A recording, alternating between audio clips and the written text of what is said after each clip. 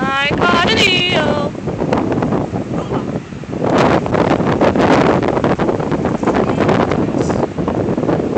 It's alive, I swear. Yep, it is. It's just not moving. There. Oh. Move, damn it!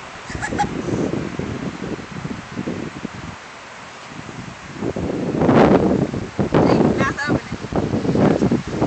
It's suffocating. And it's suffocating. Going back.